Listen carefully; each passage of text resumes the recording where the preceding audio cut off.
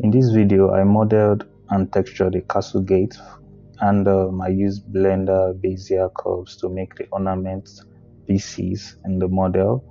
Um, Bezier curves are actually the best options when you want to make ornamental pieces in Blender.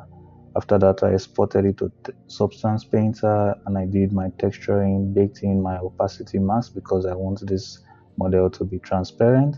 Then I did some paintings, added some gunches here and there, and that was it.